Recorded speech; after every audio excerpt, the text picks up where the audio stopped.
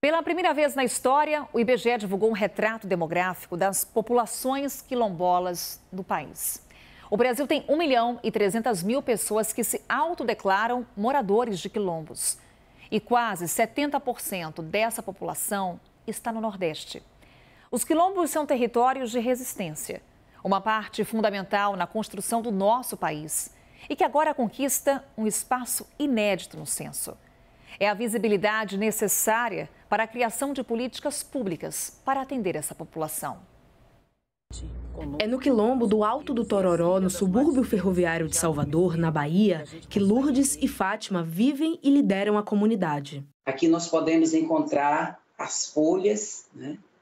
conseguimos adentrar em locais sagrados, conseguimos viver da pesca. Frente a tudo isso, né? Diante das coisas que têm acontecido ao nosso redor, né?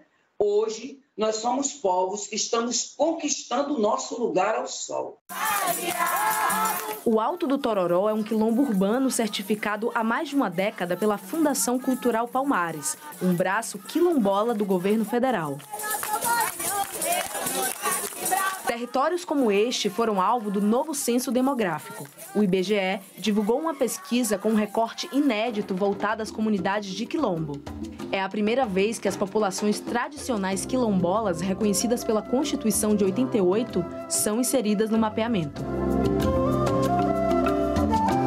Segundo o IBGE, cerca de 1 milhão e 300 mil pessoas se identificam como quilombolas. Minha avó diz que é quilombola. Vocês são quilombolas? Sou. Quase 1.700 cidades brasileiras agregam essas populações. Só a região do Nordeste concentra quase 70%, com mais de 900 mil pessoas.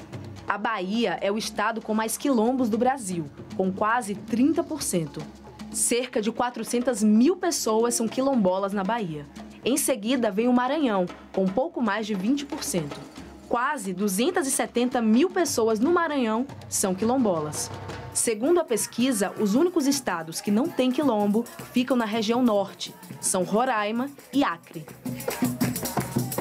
A pesquisa ainda revela que dos mais de 1 milhão e 300 mil quilombolas no Brasil, apenas 167 mil vivem em territórios quilombolas. Quase 12% estão hoje em terras oficialmente reconhecidas. No Brasil, o território quilombola virou um símbolo da resistência negra contra a escravidão. Historicamente, os quilombos surgiram no período colonial pelos negros escravizados, como resposta à violência dos portugueses. Era uma forma de tentar garantir a própria sobrevivência e manter suas tradições e culturas vivas. O trabalho do IBGE é de suma importância, né? Porque agora, com essa pesquisa do IBGE, eles conseguiram encontrar mais quilombos dos quais a gente não sabia nem que existia.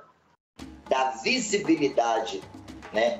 As nossas lutas, a nossa existência, o que somos, onde vivemos e o que queremos.